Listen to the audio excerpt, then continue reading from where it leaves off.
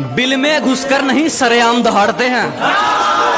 अजी बिल में घुसकर नहीं सरेआम दहाड़ते हैं। और ये अपना स्टाइल नहीं, पेशा है ब्रो। हम सामने वाले ही कहकर फाड़ते हैं।